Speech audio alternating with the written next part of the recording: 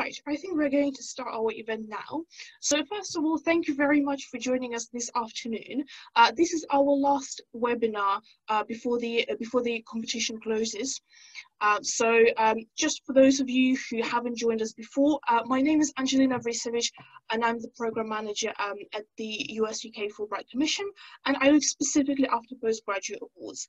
Um, I'm joined by my colleague Tom today who will be helping me with your questions and also we have two guest speakers which is very exciting.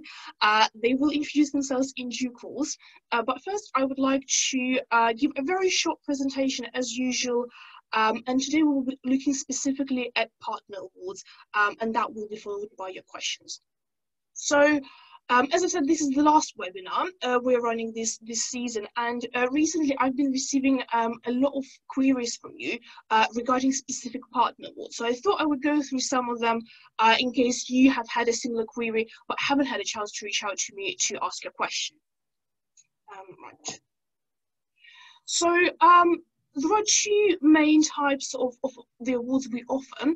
Um, and the first ones, uh, they come from our uh, partners and those are the partners who uh, offer a contribution towards uh, your tuition fees and living costs in the US. And they are mainly for um, a specific academic area um, anywhere in the US. So the first and the largest category is the awards which offer up to $45,000. We also have two awards up to $60,000 and one award which is the most generous, it's up to $70,000. Now, first of all, I'd like to clarify what this up to actually means. Uh, first of all, the main piece of advice, do not worry about it. When you apply, it's fairly safe to assume that you're going to get the maximum amount of money. Now, what sometimes happens is that our uh, grantees manage to secure a lot of extra funding from other organizations and their host institution, as a result of which they end up having more money than they actually need to cover their tuition fees, living expenses, and you know any additional uh, university costs. In this case, we may readjust our funding simply because we are not allowed to duplicate uh, the kind of the, the purpose of, of the funding we provide. But as I've said, that happens in relatively rare circumstances, and the majority, the vast majority of our grantees get the maximum amount which is advertised on our website. So in terms of the specific awards, I would like to point out that we have two uh, awards from uh, the Sir Cyril Taylor Memorial Foundation for Social Entrepreneurship. Uh, we also have two Global Wales Awards. Now, the Global Wales Awards are different, they're not identical. So, one grant is specifically for a master's program, uh, it's up to $45,000, and it is very similar to the all disciplines, with the main difference being the fact that you are expected to come back to Wales and use the knowledge and expertise you will have acquired in the US. Um, and the other award, I think, is up to $25,000, and that is specifically for PhD studies. So, if you are a PhD student uh, at a Welsh university and you would like to go to the US uh, for research placement, this award is for you. Um, so the BAFTA Scholarship and Elsevier, BAFTA is probably the most competitive partner award we have. So it kind of competes with the old disciplines in terms of how competitive it is. Um, I often get asked about what we actually mean by the project. Uh, because if you look at our instructions, uh, you will realize that in the study objective, you need to elaborate on the project you're planning to conduct uh, in the US. Um, and would you appreciate the fact that if you're applying for the BAFTA scholarship, it's fairly likely that your course is going to be in a way more applied than, let's say, a master's in, in political theory. And that's perfectly fine. So I would suggest that you approach this whole issue of the project in a broader way. So think about the project you want to work on as, let's say, as a filmmaker in the future. Think about your career project, your sort of professional development project, and talk about that in your study objective. Uh, the Elsevier Award. Now, uh, the question I get about this award a lot of the time is whether it has to be a master's in data analysis. Now, it does not. Uh, if you are interested in this award, I very strongly encourage you uh, to check out the webs the Elsevier's website. Uh, it gives a really good idea of research they're interested in, they're involved in. And just kind of to give you an example, so one of the areas they're particularly keen on uh, is medical studies. And our current Elsevier grantee is, is a doctor doing a medical studies program in the US. Um, and finally, in this particular category, we have the Entrepreneurship Award. Now, this is a new award and it is a very generous one. Uh, it can be applied to any MBA in the US as long as it's not Harvard Business School. Now, we are obviously aware of the fact that kind of the traditional MBA in the US is spread over two years. Now, if you're willing to look outside the Ivy League, and if you're willing to look at probably the areas not as kind of as fancy as New York, for example, uh, you it, it is it is possible to find degrees uh, which um, can be pretty much fully covered by seventy thousand dollars. So this is this is something to keep in mind if you're interested in an MBA and the financial side of it is, is a concern to you. Um, the other category of the awards um, are our part specific US university partners, and those tend to be not just for just a specific discipline, but also at a specific institution. So um, as I've just mentioned, uh, the Entrepreneurship Award is not suitable for Harvard Business School. And the reason for that is the fact that we have a partnership with uh, the British Friends of Harvard Business School. So the award, uh, so on the website, you will read that the award is normally up to $45,000, but this award is in a way um, a financially uh, need-based scholarship. So uh, our partners have supported our grantees very generously and it has gone above $45,000 having said that, I do want to point out that this the, the MBA at Harvard is an expensive course, so it is very likely that you will need additional funding uh, the New York University Wagner Award. It's quite a niche program and quite quite an interesting award, quite different from everything else we offer. So the course is uh, one year long, and you go to the US for one term only, and that's your first term. The US term is fully funded, so the tuition fees are waived, and you get a living stipend. Uh, however, when you come back to the UK, you come back to London, and you complete your program at UCL. And um, unfortunately, we are unable to support you with, with that bit of funding. So you you will have to look into that yourself. Uh, this uh, program, uh, sorry, this award also requires some work experience, but it is very popular uh, with uh, public sector employees. Um, I've grouped the next two awards together, so it's Minnesota Public Policy Award and Indiana uh, Law Award, because they offer the same financial package, so it's full tuition fee waiver. Um, now, something people are not always aware of is the fact that both Minnesota and Indiana are located in one of the cheapest um, regions of the US in terms of uh, living costs. Uh, so if you're able to, or if you're willing to negotiate with your universities and maybe have a frank conversation about your financial circumstances, you may be able to get an additional scholarship, a stipend, something else to support you. And in the end, you will end up with a fully funded award. So if you're interested in either public policy or law, I would very strongly encourage you to uh, to look at, at these awards. And finally, we have um, a PhD award with Brown University. Now, this is the most generous award we have at the moment. Uh, so it offers uh, a complete a full tuition fee waiver with a generous monthly stipend and also medical and dental insurance covered. And you get that throughout the five years of your study in the US obviously the thing to keep in mind that this is for PhD specifically, and Brown University is an Ivy League institution, so you can expect the um, application process, the selection process to be quite competitive. Uh, so this is the information I, I wanted to share with you today. I'm going to stop sharing my screen in a moment. Right, thank you. And normally we would now move on to the Q&A session. However, I've invited two of our grantees to come and join me, and both of them said yes. So I'm absolutely delighted to introduce to you uh, Rosie Ellis and Tam Trin, who are in the US at the moment. They're current grantees, and they they also applied uh, for our partner awards, and they are happy to talk to you a little bit about their experience in the US. Right, Rosie, Tam, are you happy to, to turn the cameras on? Are we happy to go ahead? Oh, oh, here we go. Right, Tam, are you, are you happy to go first and tell us a little bit about your award and, and your experience in the US? Yes, definitely. Thank you very much, uh, Angelina, for the introduction. Um, so um, Angelina has asked me to just share a little bit about uh, basically what it is that I study, uh, my sort of process of applying for like the, the kind of uh, partner awards and my experiences so far. So I'll talk a little bit about this, but do feel free to ask questions after. Um, so I'm Tam, and I'm currently studying a master in international and development economics at Yale. Uh, I am a recipient of the Lloyd's Award, which is in a degree. It's an award for any degree that is related to risk analysis. Um, I think like I want to talk a bit about like why I chose the Lloyd Award. Um, I think like in thinking of what award I wanted to do, um, I found it very helpful to think like what which one would be the best fit for what it is that I want to do. So I wanted to study sort of economics with like a particularly focus on labor economics. And I sort of had a look at a few awards and actually a few of them like looked like they could potentially be sort of suitable for my degree.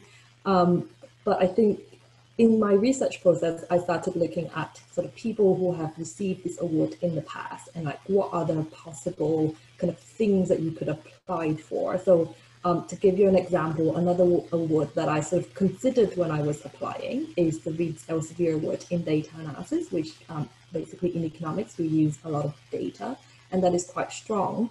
Um, so I considered a lot between these two awards um, specifically. Um, but I think after reading the profile and the bios of people who have received this award in the past, I sort of have came to the conclusion that actually the risk discipline award is actually better suited to what it is that I wanted to do. And I also found, for example, reading um, Reed Elsevier, like a lot of people would do like kind of quite strong data analytics in medical science. And whereas like for me, it is actually more related to risk analysis.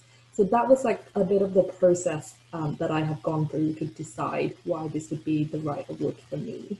Um, I have also applied for the all, so you could apply to both the partner awards and the all discipline award. So this doesn't penalize you. So this, um, I didn't know that in the beginning and I thought that was a helpful piece of information that I found out in the application process. Um, so that is a bit about like the award itself. Um, in terms of my experience, um, I basically have moved to the US. I think before I actually moved here, it was slightly it was a bit crazy because there was a lot of different policy change, you know, currently in the time that we live in. Um, like I think right up until September, um, or like even during August, there was lots of like announcement by the Trump administrations about what who can travel and how we could do it. So it's definitely not normal times, and it was a lot of uncertainty. Uh, but like Fulbright definitely has been super helpful in helping you navigate this process. So um, like you know, with all of that in mind, I think like that really helped my journey to be a lot better. Um, and even coming from the UK, so I sort of finally managed to get my visa appointment, and I think I traveled uh, with probably in about like two weeks of receiving the visa. Um, so it kind of all happened very quickly, even though I sort of mentally prepared for that um, for some time. Um, I think first coming into the US, there was definitely a bit of a culture shock. And again, like we had a orientation beforehand um, that talked to us about, oh, okay, but this is what the culture of the US is going to be like. And you thought, oh, well, you know, the US and UK culture is probably not that different. Well, it turned out that there's probably is a bit, and like the orientation came in super helpful, I think, just in terms of what to expect and, and how to do it. Um, and actually being here, even though it is during COVID time, um, it does mean that you could be a bit more immersive in the culture. So even though like most of my classes are remote. I am able to go out and meet with my classmates, meet with my professors and other people from like clubs and societies that I do here. Um, so yeah, like I think that's kind of a little bit about my experience, but I'll stop here and let Rosie uh, pick up. Thank you very much, Tam. I'm going to jump in, obviously I need to.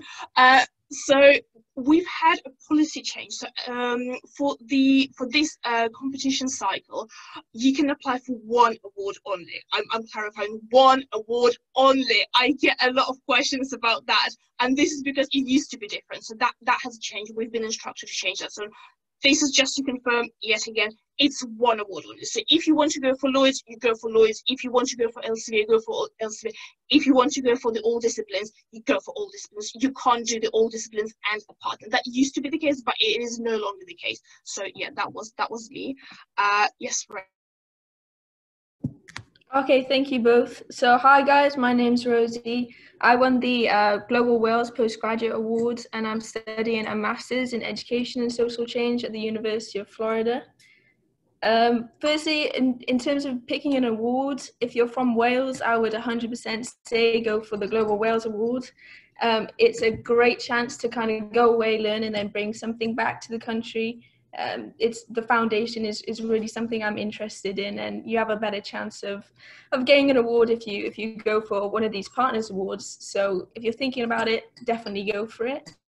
Um, in terms of choosing a university, I would say in the application process, be thorough, look through. I know that a lot of people kind of gravitate towards the Ivy Leagues in terms of Harvard and Yale and things, but there are so many great options out there, and I would encourage you all to explore as many universities as you can, talk to the professors, look at what programs might suit you best, um, and then go from there. In terms of getting here, like like Tam said, it was a bit strange with the whole Corona crisis, but Fulbright have been fantastic in helping you through every step of the process in getting your visa, getting here, making sure you feel comfortable and you have everything you need. Um, it is a little bit daunting. Moving across the country can be um, a bit scary, but you'll find your feet within a couple of weeks. And the opportunities that are here kind of outweigh the missing home and things. Uh, in terms of the benefits of cross cultural exchange, I'd say it's fantastic. You don't realize until you get here what you can actually learn from being around people who are different to you and to emphasize with other people and what they've been through and to learn about like different systems and different societies and how they Im- impact whatever you're studying.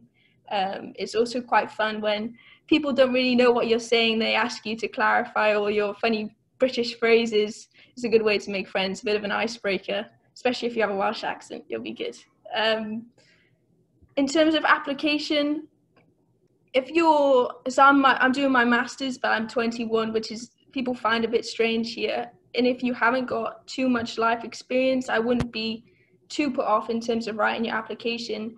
It's really important, I think, for me to talk about your motivations and what you want to do and what your aims are and what your goals are and how that connects to you as a person.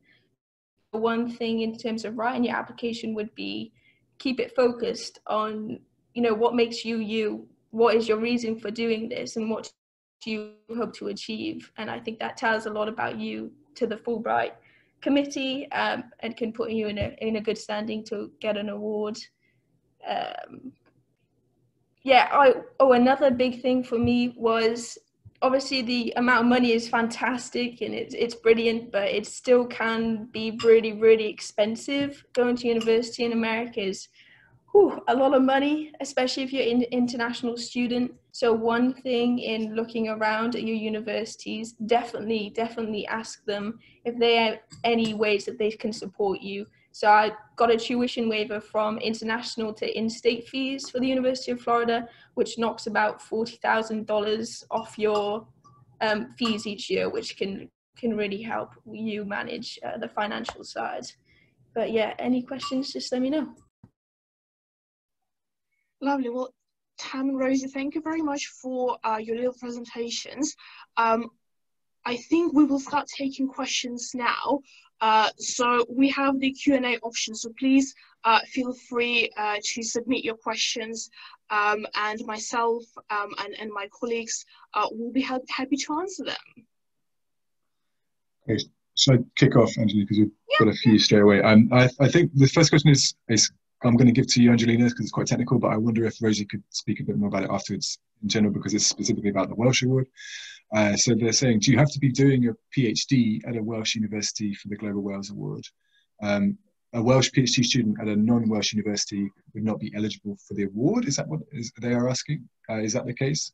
Uh, so, Angelina, could you just clarify the Welsh eligibility Yes, so as I said, we have two uh, different uh, Global Wales Awards. So if you're if you are now a PhD student who wants to go to the US uh, to do part of your research in the US as part of your let's say British PhD, then you need to be studying in Wales at a Welsh university. That is a key requirement.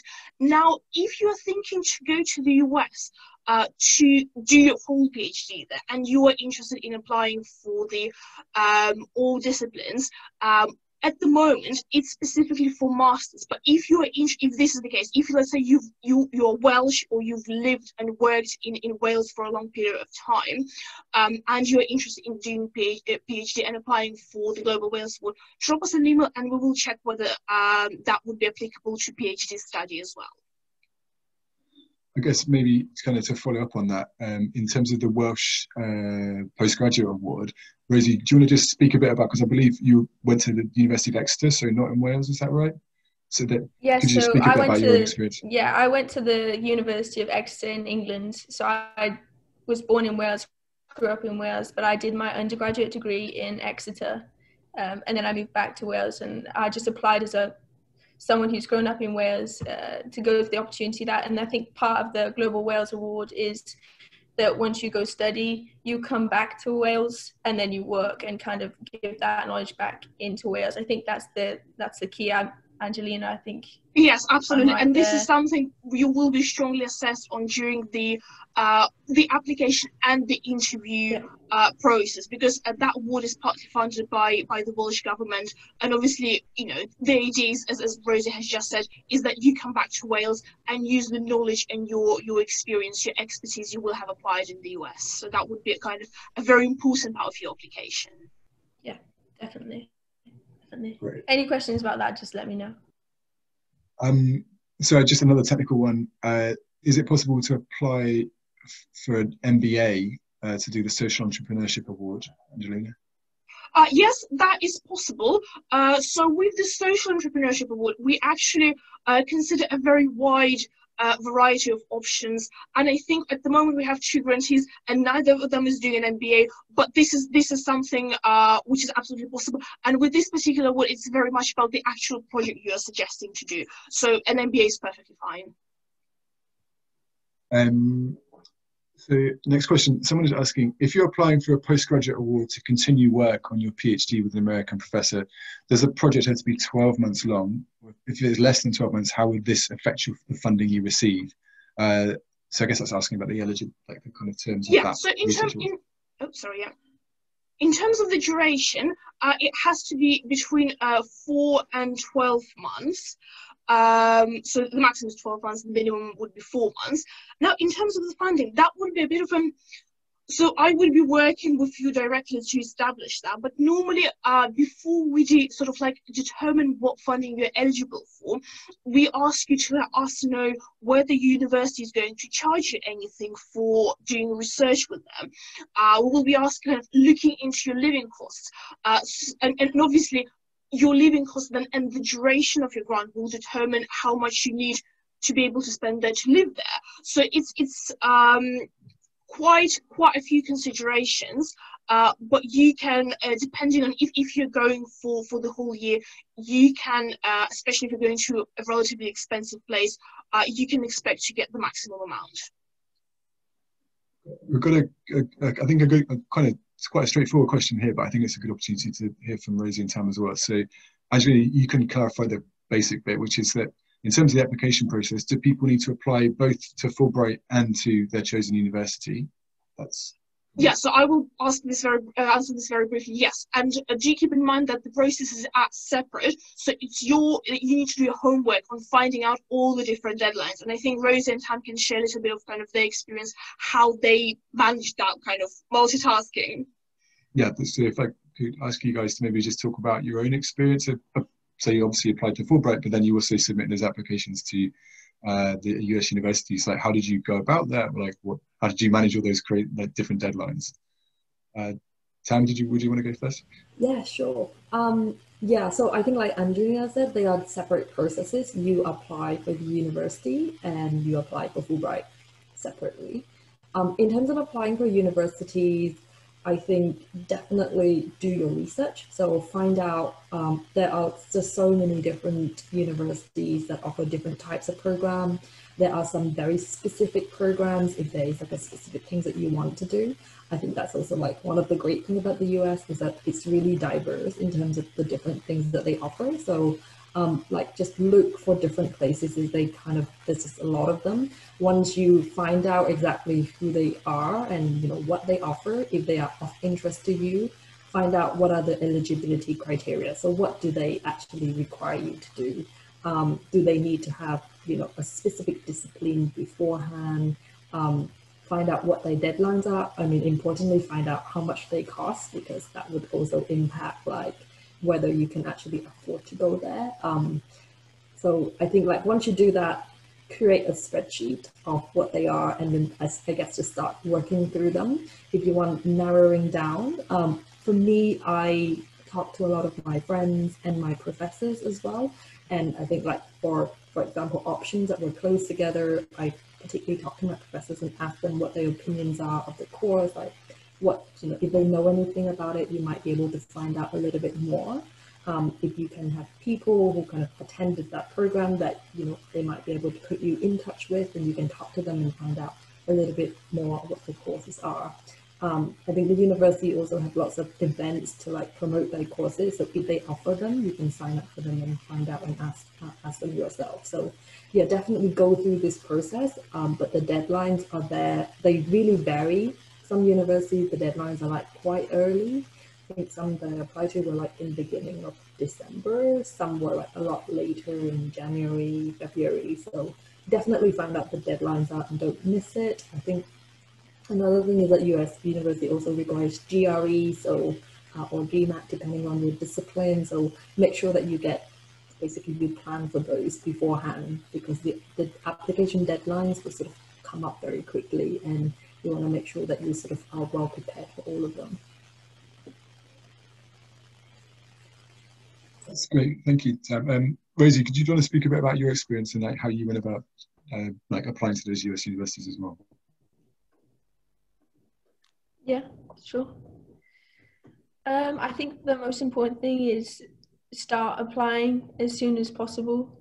Um, just start getting the applications out there. Like Tam said, do your research, look at the universities which might be most suitable for you and the programs that are best for you. If you need to do the GRE or anything like that, get it booked in advance and start studying because it's hard. um, also, just look around and, like I said before, look outside the Ivy Leagues, look at universities you haven't thought of, do your research, get in touch, make connections with the professors and the program managers and the what universities have to offer. Um, apply to as many as you would like because there's no harming it. And um, also, if you miss a deadline, don't panic I know a few times they'll just say yeah, and you can still put that in. That's great. Thank you. Um, I've got a couple more very sort of straight, straightforward questions, so I'm just going to fire those at Angelina, um, and some of them are about quite specific things, but still relevant. Um, so, I so a question about the applying for the entrepreneurship and the Harvard Award. Uh, is it possible? And I, is this? Is it, I wonder if this is an exception. Um, do you uh, can one apply to the entrepreneurship award and still be available for the Harvard Business School award? And if successful, would you be available? Uh, able, sorry, and if successful, would you be eligible for the British Friends Award? Um, so, what's I guess what's the relationship between the applying for the MBA awards that we offer? Um, I'm not sure. I uh, I, I may need some help with this question. Sorry, uh, so basically, the you you have to choose um what um, which which which one you want to apply for. Uh, so that that's basically if so if you're interested in in applying to um, Harvard only, uh, you you can it, actually the deadline is also a bit different for Harvard. That's that's normally in April. So uh, you apply for that particular scholarship. Uh, if you're considering multiple scholarships, uh, oh sorry, multiple um, universities, Um, and if, if, you're interested in the social entrepreneurship award, especially, uh, sorry, not social, the entrepreneurship award, especially given, you know, how generous it is, unfortunately, that award cannot really be used uh, towards an MBA at Harvard. So you, you need to, unfortunately, make, make a choice in this particular case. Um, and then another a couple of questions about deferrals. So if people have already got places uh, that they would have um, been offered this year, but they've deferred them to next academic year, are they able to apply with those places in kind of in the hand, as it were? Mm-hmm. That, that's actually a very good question. Uh, so yes, it's fine to defer um, a place you may be holding at the moment. Uh, something to keep in, in mind is that uh, US universities offer different start dates. So very often you have two or three start dates throughout the academic year. Now with the Fulbright grant, the earliest you can start a course as a Fulbright grantee uh, will be July 2021. Uh, so I would be encouraging you to look at August, September 2021 if you can um, for a start date. Uh, but if you wish to defer, that's fine. We will just need um, an official letter from your institution that you've deferred, so that's not a problem. So here's another question that's um, I think Angelina will answer in the kind of basic sense, and then I think we can uh, maybe turn to the, our grantees to get a bit more detail from their perspective. So can you apply for scholarships? The question is, can you apply for scholarships at the colleges and universities as well as the Fulbright Award? Um, so, Angelina, I think it's quite a simple answer to that one. Yes, and, and we definitely encourage you to do so. And I think Rosie uh, can touch uh, upon that issue a little bit because she's, she mentioned that she got a very good deal from the University of Florida. Yeah, I was super lucky. I got a great deal. it's definitely worth when you apply to just ask them, hey, I'm a Fulbright student. Would there be any extra funding available to me to help with the tuition cost and things like that? Because my award won't cover international fees, are just very expensive um, in the US. So it's really worth sending someone an email with just find the contact. It'll be on their website and just asking them. You can look on their page for the scholarships, but it's also I didn't see one on there for me, so I just emailed and asked, and they said that they have a pot of money spare for Fulbright students who need like assistance, and therefore they drop your tuition down to an in-state tuition. So even if you don't see it on the page, if you're applying somewhere, just email, ask them, because there's a chance that they're going to be able to help you out, and it, it does make a huge difference. So definitely ask tuition waivers are also a good way to go. So um, if there's not a scholarship, that that might be an option. But yeah, absolutely. Definitely. And I just cannot overemphasize how how important and how true that actually is. Very often you can get a scholarship or some sort of a discount simply because you're a Fulbright uh, yeah. grantee. So it, it has nothing to do with your financial circumstance. It's also, again, very common to offer financial support if you find yourself in kind of challenging financial circumstances. So absolutely do uh, reach out and try to have a chat with someone uh, directly at the university you are you're keen on attending. Um, we've got a specific question about the Elsevier Award, uh, basically asking, so where can I find more information about the Elsevier Award and the types of research included? I'm hoping to do a master's related to biology. Would this be applicable? Uh, well, Google. that is the short answer to this question. Um, the Elsevier organization, um, it's a foundation, their website, they they because they work obviously in research, they publish a lot of stuff. Uh, so just just go and have a look at what, what is happening on the website. In terms of uh, the area, again, as I've said, uh, they they are willing to be very um, kind of uh, they're willing to consider very different areas. So it's yeah, it, it really depends on your project. Um, because your area is related uh, to medical studies, and I know this is one of the sort of like relatively hot topics, uh, that sounds plausible to me, but it does really depend on the project uh, or on the application overall you end up submitting. Something, again, I often get asked is, so I get an email saying, hi, I'm, I want to apply for award X, I'm studying you know, discipline, why, whatever. Uh, it's very difficult for us to advise whether you are eligible to apply for a specific award because we don't see your project proposal. Until we have your application with your study objective, we are not going to know uh, if you're um, if your idea, if your uh, proposed project is suitable for that award. Also, do keep in mind that your application will be reviewed by the partner, and this is a decision we will be making all together. So, you know, I also can't really predict what the partner is going to say. Although we, we try to be as flexible and as kind of uh, broad-minded as we can. So we always give you the benefit of the doubt if, if there are any doubts. Great. There's a couple more kind of sort of more technical questions. So um, if you're applying to do, uh, I guess uh, another way of phrasing this would be, are there any other, we've already talked about the Welsh Wales Award for the PhD research. Um, are there any other partner awards that are also applicable for doing um, you know, research trips for, for a PhD, or, or is the only option the All Disciplines Award? So if you're interested in doing a placement, so you're doing a PhD, let's say in the UK, and you want yeah. to go to the US for six months to do particular research because let's say of a lab available only in the US. Uh, so that would be either the um, Global Wales Welsh Award um, or the all disciplines.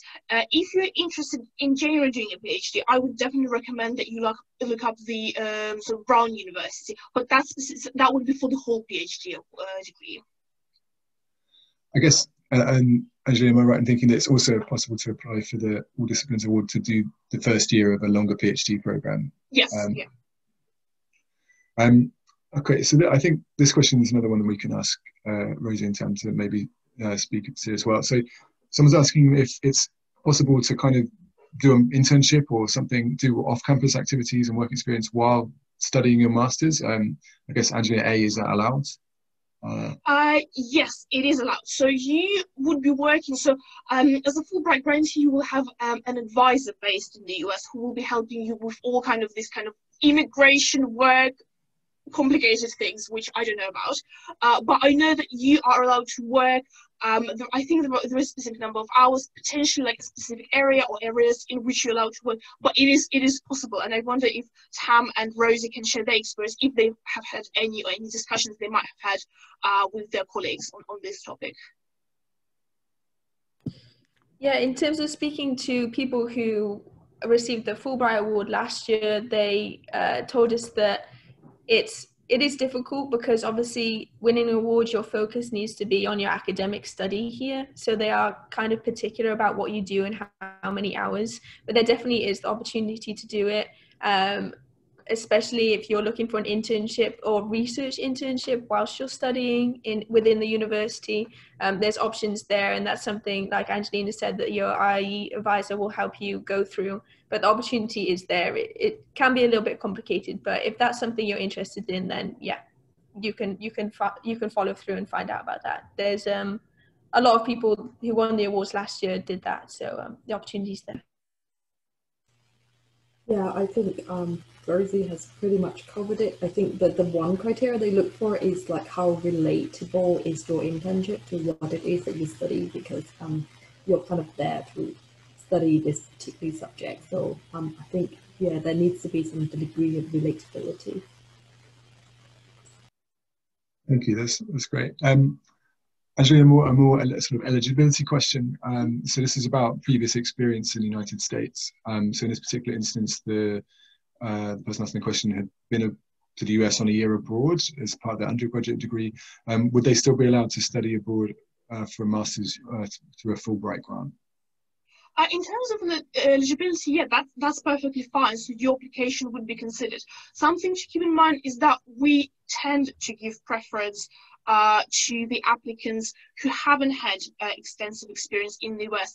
But then again, we have equally offered our awards to the people who have been to the US before. So um, I would say definitely apply and we will take it from there. Um, another sort of uh, more technical question. So this is about the um, J1 visa and the, what, it allows you to do after your grant has finished. So the question is, I know there are rules with visas and going on to work in the US after studying there. What are the rules with a J1 visa and then getting a job in the US? Is this something uh, yeah, is, is, this something they're allowed to do?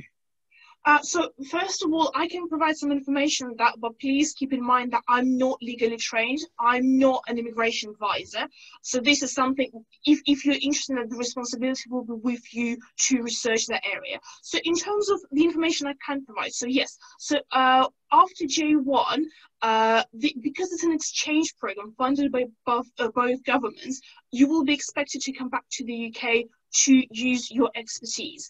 Uh, if you want to acquire a more permanent immigration status in the US, for example, you want to apply for the green card, you will need to come back to the UK and spend at least two years uh, in the country which gave you the Fulbright uh, grant.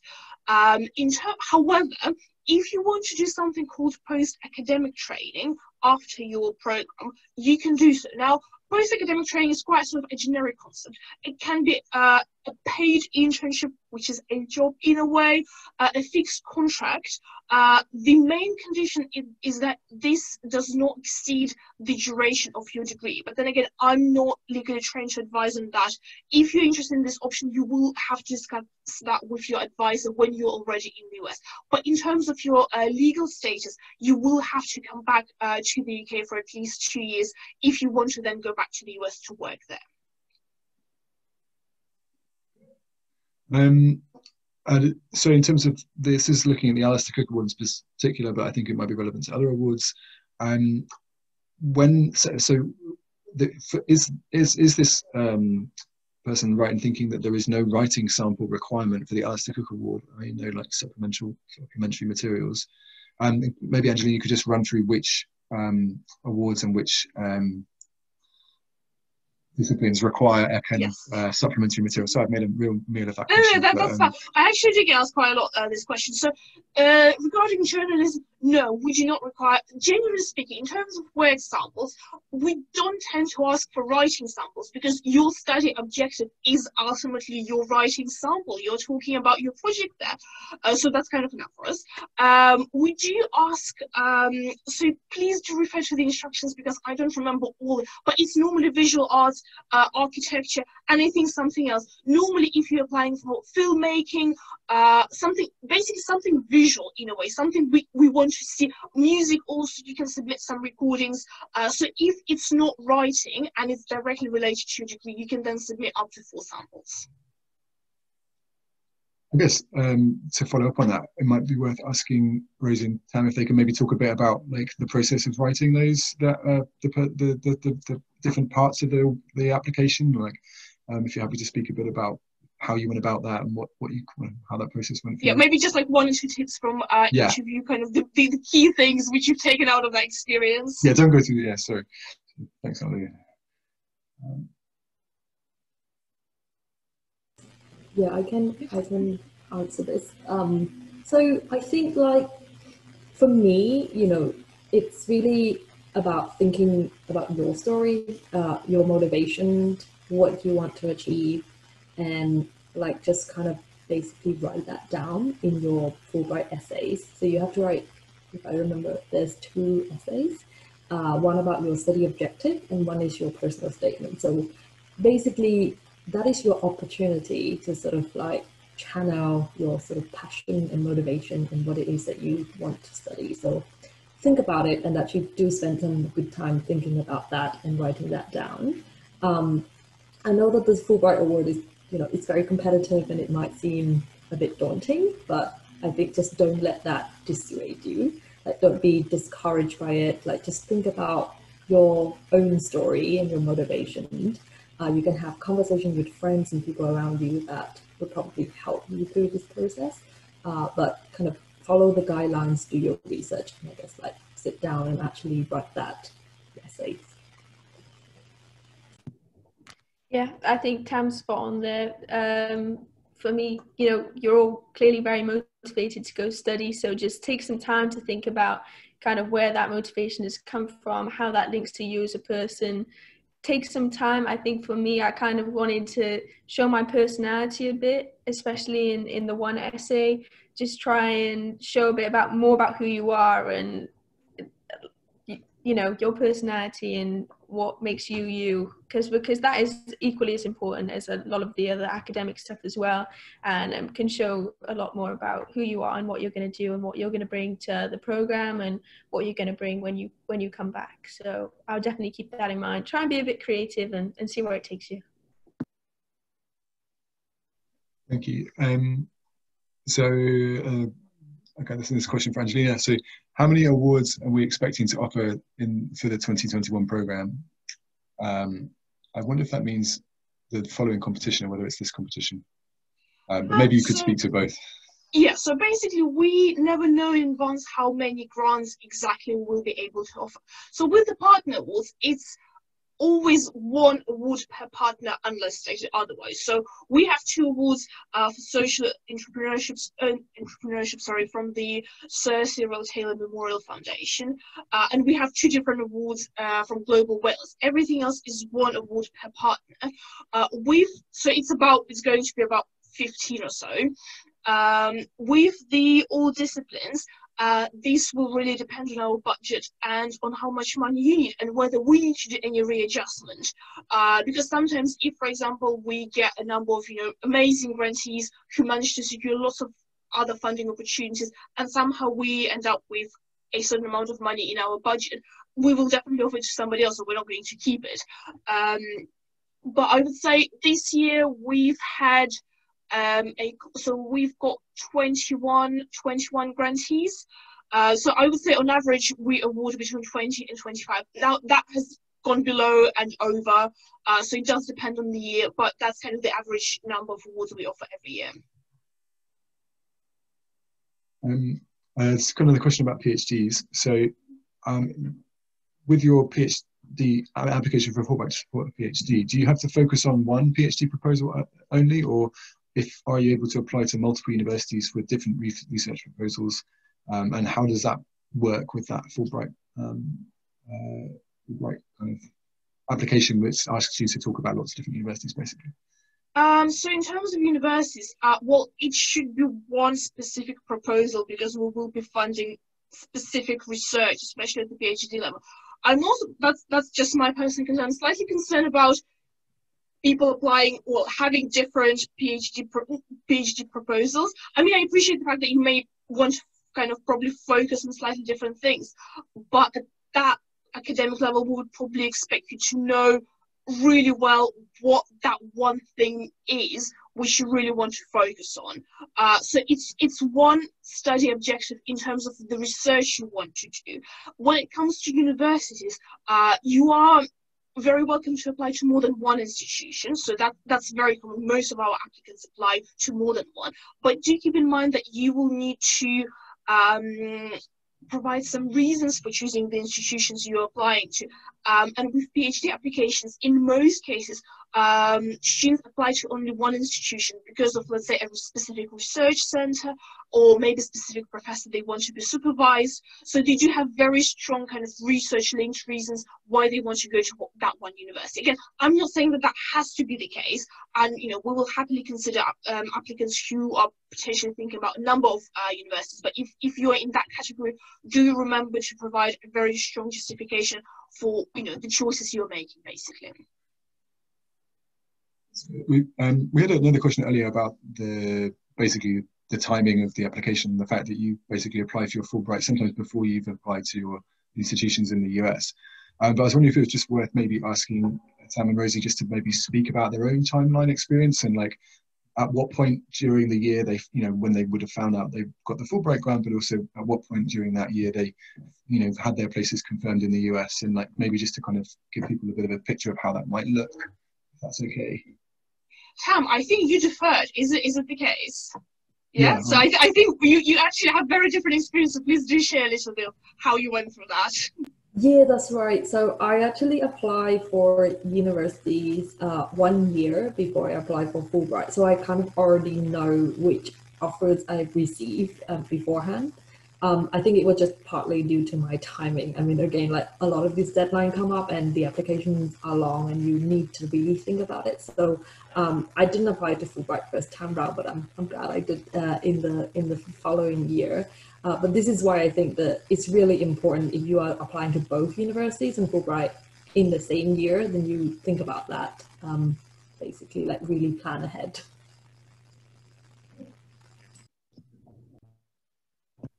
Yeah, definitely. If you're applying to Fulbright now and you're also looking to apply to universities, it's it's gonna feel quite hectic for the next few months.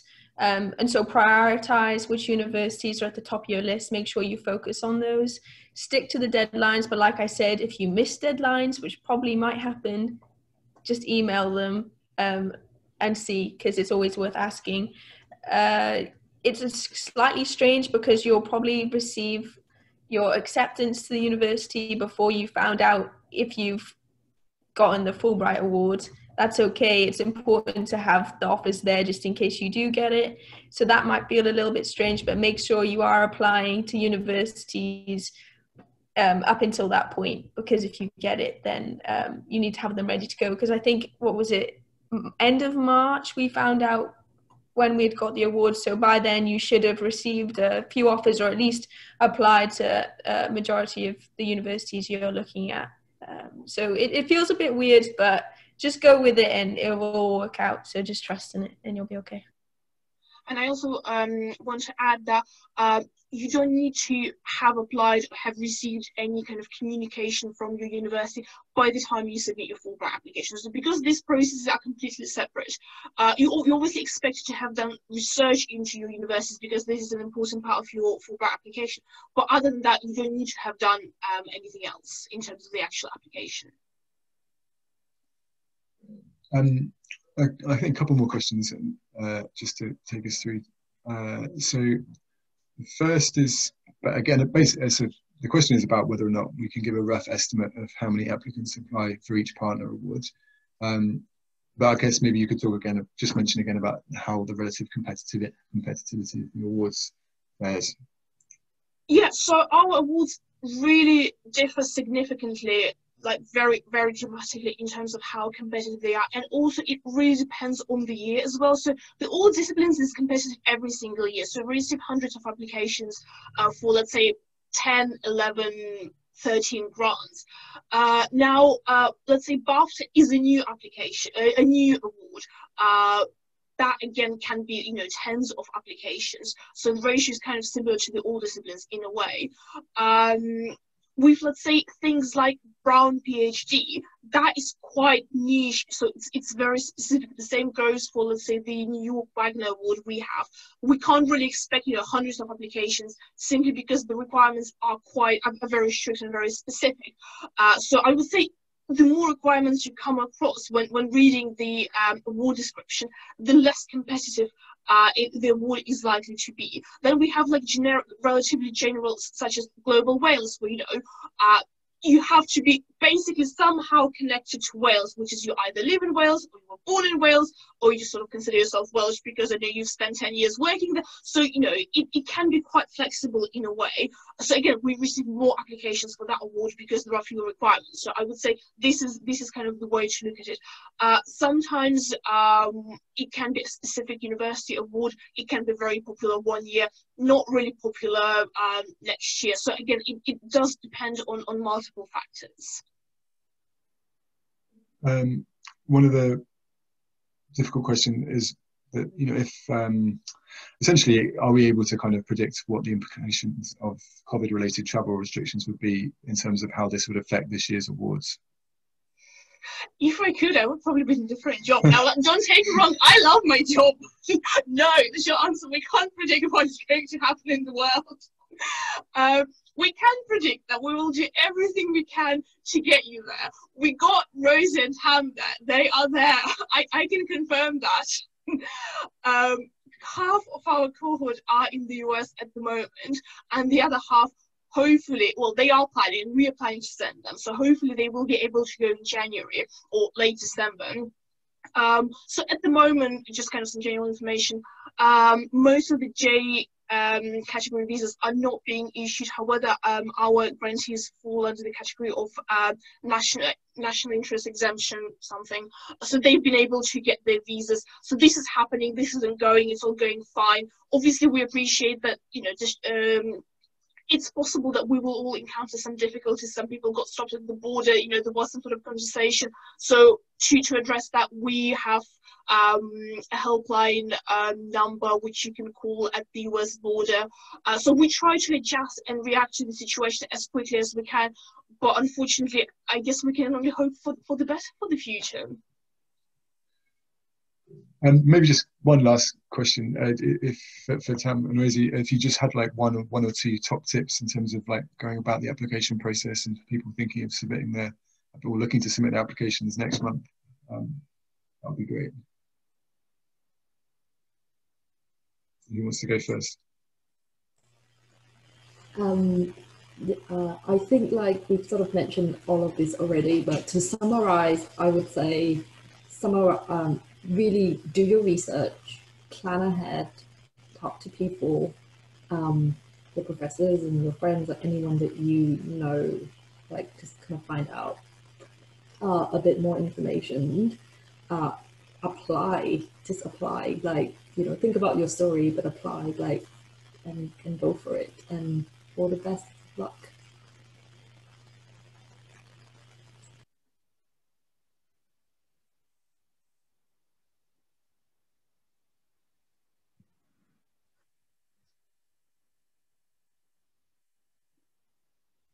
Rosie, are you are you still with us? Yeah.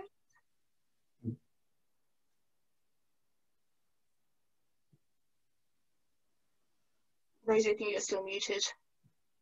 Are we having some internet issues?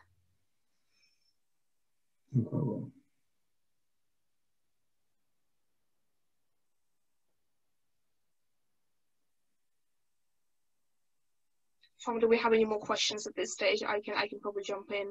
I think um, I think that's actually it for questions. I think people have got to the, the half past and decided to stop asking questions. Okay, well, um, we've we've done really well. Um, I think, well, um, Rosie and Tam have provided fantastic advice. Uh, well, thank you very much for helping me out and helping um, our potential grantees out as well. Um, it's it's been it's been great having you. Um, also, thank you to everyone who um, is still with us, who has attended the event today. Um, if, if you have any questions, uh, please uh, drop us an email at programs at fulbright.org.uk. We will be very happy to help you and provide as much assistance as we can. And I guess at this stage, I can only reiterate what Tam has just said. Uh, even doubt, give it a go. It does require quite a lot of work, but in terms of finances, you um, there are no financial obligations to us. Uh, so, you know, the worst case scenario is that, well, you, you can try again next year. Uh, but um, I'm, I'm really looking forward to uh, receiving your applications. And once again, thank you very much for your attention. Bye bye, everyone.